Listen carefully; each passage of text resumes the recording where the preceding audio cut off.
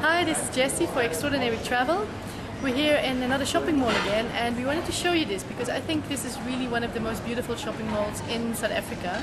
What they've tried to do is to copy like a European city so you really have the idea that you're walking in a shopping street and this one is situated about 35 kilometers uh, north of uh, Cape Town in the northern suburbs as we call it and you can come here to shop, to have a drink, to go out for dinner.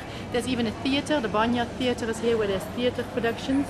So this is a Willow Bridge a shopping mall in uh, Tyger Valley in Cape Town and this was Jessy for Extraordinary Travel. Thank you.